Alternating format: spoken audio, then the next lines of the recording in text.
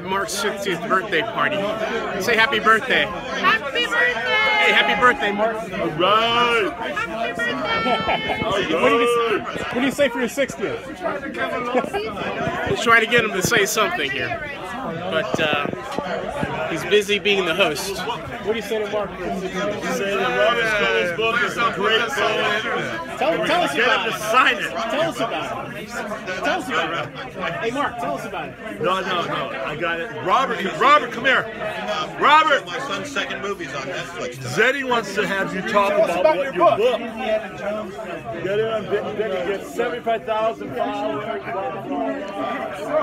It's about augmented reality. It's about glasses like I have in my pocket. Let me put this down.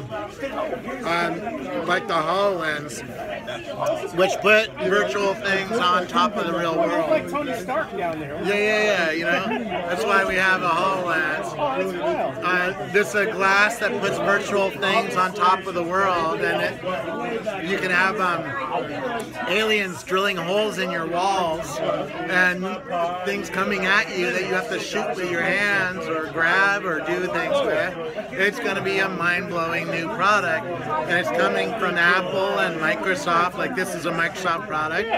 Facebook is thinking or, uh, or working on something in this space because they bought Oculus, Snap, and others. All the Chinese companies are thinking about this in a big way. Huawei just announced something. Samsung just announced something. You got So- new glasses. Yeah, Nice. yeah, thank you. And so th- these augmented reality glasses aren't going to be big and dorky like this one. They're going to be the size of the Snapchat Spectacle, and it's going to be that small this year, is what I'm seeing because of the new optics that just are coming on the market that are really thin. And um, that's what you're going to see from Apple, I believe, is a new pair of glasses. Um, Hey, how do we buy the book, though?